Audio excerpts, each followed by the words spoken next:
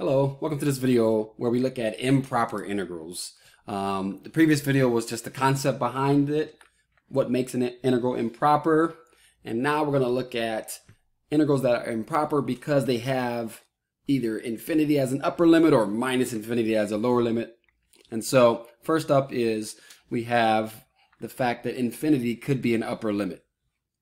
The way you handle that is you don't plug in infinity like a number. What you do is you let a variable approach infinity and you re replace the upper limit with that variable. Integrate like normal, plug that variable in, and then you have to do a limit problem after that. All right, let's see an example.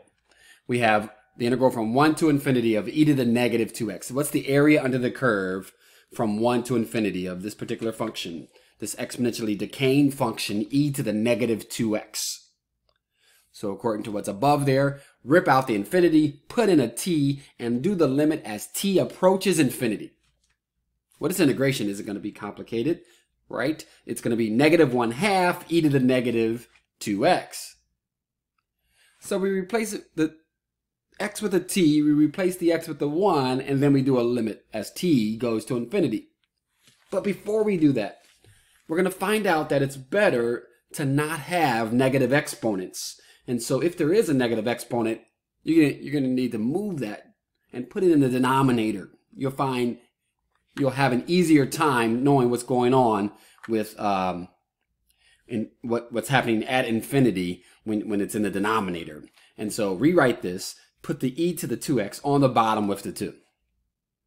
Plug in the t, plug in the 1, and now do the limit as t goes to infinity. So we're talking about 2t, so that's, you know, infinitely large. e raised to an infinitely large number is exponentially large. So anyway, we have a negative 1 divided by twice an exponentially large number. What happens there as the number gets larger and larger? It's going to go to 0. And then we just have the other part.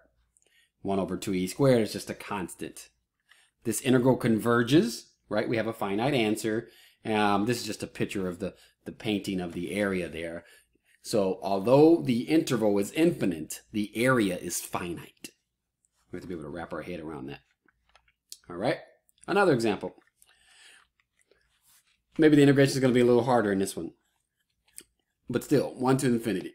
So we bring in the limit as t goes to infinity and replace the infinity with the, with the t. How do you integrate this function though? 1 plus e to the x is in the denominator and e to the x is in the numerator. The derivative of the denominator is the numerator. Let's just do a u sub. Let u be the denominator, du is the numerator. It becomes 1 over u du, which is the natural log of u. Sorry, it's so small there. And so you get the natural log of 1 plus e to the x. Um, I've chosen to switch midstream from t to b. Hmm. Okay, why don't we just make it a b? Okay, so um, b goes to infinity. So 1 plus e to the b inside of a log, and then 1 plus e to the 1 inside of a log. The limit as b goes to infinity. So, so b goes to infinity, e to some very large numbers, exponentially large, plus 1 doesn't really change it too much. The natural log of an exponentially, the natural log of a large number is large. This constant minus the log of 1 plus e, it doesn't affect it, the fact that the first term is headed off to infinity. When your integral, when your limit is infinite or your limit doesn't exist, you say that your integral is divergent. Here's the painting of the area there from 1 to infinity the big difference between the previous question and this question is that as we were um, headed off to infinity, the uh, the area was getting infinitesimally small. Here, as we head off to infinity, there's no there's no decreasing in this area. We don't have a chance to converge. That's the concept. That's the idea, basically. All right, let's do another one. How about the lower limit? Minus infinity. Um, TA, whatever variable you want to use, replace the uh, lower limit with that variable. Okay. And so our example uh, from the first set is a minus infinity to 1. Um, the function is x e to the x. rip out the minus infinity, put a letter in its place, a variable, and I, I chose A. I, I like I usually choose A for the lower limit and B for the upper limit, but somehow T gets in there sometimes too. Um, and so, yeah, how are you going to integrate x e to the x? You're going to use integration by parts. But you can even go further, use a shortcut to that called the tabular method. When you have a polynomial times an exponential that you can, you know, exponential, um, exponential that you can take infinitely many antiderivatives of, or enough of them. You don't need infinitely many. You need to be able to have that polynomial differentiated down to zero, and then ex the um, the exponential integrated the same amount of times. You multiply along diagonals going down to the right and applying. It does the uv minus vdu integral for you. x e to the x minus e to the x. So we put a 1 in, and we get e minus e. We put an a in. a e to the a minus e to the a. And so, and with the minus on it. So let's uh, distribute the minus and let's factor out. So we'll have the e to the a gets factored out and we'll be left with 1 minus a. Now a is going to negative infinity. So e to the a is going to be very small. 1 minus a as a goes to negative infinity is going to be very big. These two things are at war with each other. One wants to be small while the other one wants to be big. This is an indeterminate form. Zero times something that's very large headed off to infinity is not necessarily zero. It could be, but not necessarily though. This isn't L'Hopital ready, but with one step, we can make it L'Hopital ready. L'Hopital ready is zero over zero or infinity over infinity. So we need to create a fraction from a product. Instead of multiplying, we'll divide by the reciprocal. And so instead of multiplying by e to the a, we can divide by 1 over e to the a. Maybe I should have left it like that, 1 over e to the a. I called it e to the negative a, which is fine too. Um, and so, now as a goes to negative infinity, we already know that the numerator is going to infinity. What about the denominator now? It's the opposite of something that's going to negative infinity. That's infinite, and e to that infinite is, is headed to infinity. This is now L'Hopital ready. I debate whether or not I put an S in L'Hopital. Sometimes I do, sometimes I don't. Here I have it as an S in there. The execution of L'Hopital's rule is that you take the derivative of the numerator and you divide by the derivative of the denominator. And you do that limit instead, provided that it exists. Well, numerator derivative is negative 1. Denominator derivative is negative e to the negative a.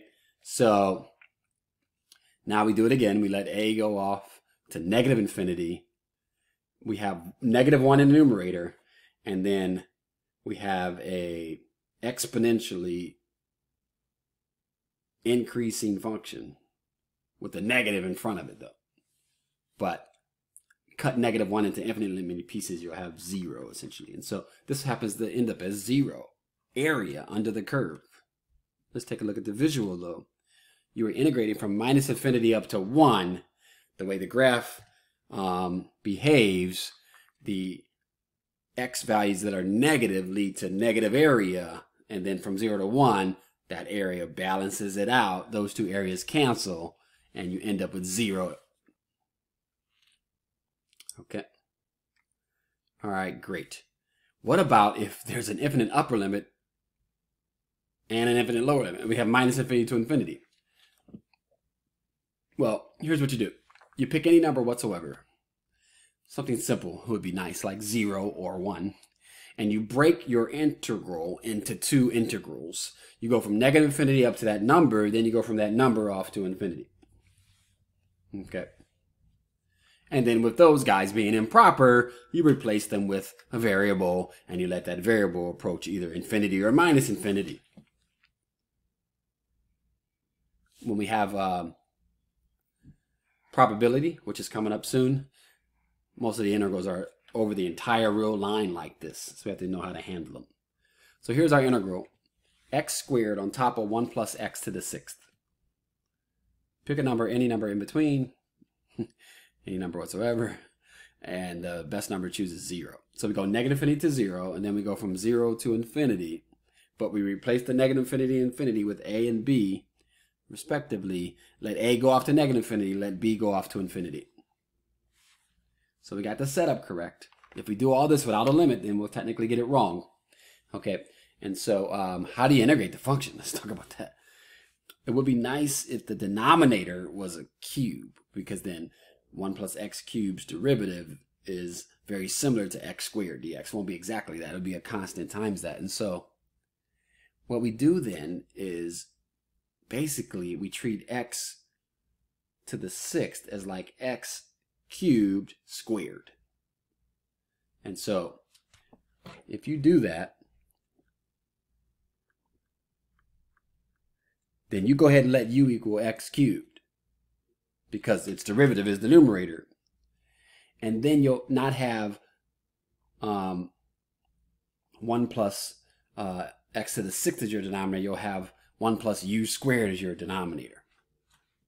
So you let u be equal to x cubed. du is 3x dx technically. 3x squared dx technically. So one third of du is going to take the place of that numerator, x squared dx. So you have one third of du you have 1 over 1 plus u who is squared, but you know that antiderivative there is arctan. Sorry it's written so small. So your antiderivative is 1 third the arctan of x cubed. For both, where we go from negative infinity to 0, we go from 0 to infinity, we set it up where we go from a to 0, and then from 0 to b, letting b go off to infinity, letting a go off to minus infinity. Okay? All right, great. We have to put a 0 in and then put an a in. Put a b in and then put an a in. But the arctan of 0 is 0. So putting in 0 gives you 0. So in this next step, it looks like I just ignored the 0. I didn't. I used that fact that the arctan of 0 is 0 upper limit, you gotta be very careful with the signs. Upper limit minus lower limit. So so plug a zero in and you um, get zero. Then minus the lower limit, you get minus one third arctan of a cubed. Then on the other one, uh, upper limit, you get the b, and then minus nothing. So this is what we get. A is going to negative infinity, and b is going to infinity. You have to remember the graph of arctan. I should have had it already pre-animated here, sorry it has these asymptotes at minus pi over 2 and at pi over 2. And so, oh, that's weird. Okay. Um, and so the function asymptotically approaches pi over 2 as you approach uh, infinity and asymptotically approaches negative pi over 2 as you approach negative infinity. So this guy's going to head to negative pi over 2, and then this guy's going to head to pi over 2. But with the negative being there, basically you have pi over 6 plus another pi over 6. So you have pi over 3. Okay. All right, great. Um, wow, I didn't realize the video got so long. Sorry about that. Um, erase all ink on the slide. Here's the picture there the way the graph grows, and then it's uh, it's symmetric with respect to the x respect to the y-axis. It's an even function, um, and so we could have actually integrated from zero to infinity. All right, all right. That's the end of this video. We'll come back with the next video where we deal with discontinuities of the function, and then there's a couple more videos after that. All right. Thank you very much. Uh, my name is Nakia Rimmer. I am here to help you through this journey. Um, and if you have any questions, don't be afraid to ask um, please comment down below or like and subscribe. See you in the next video.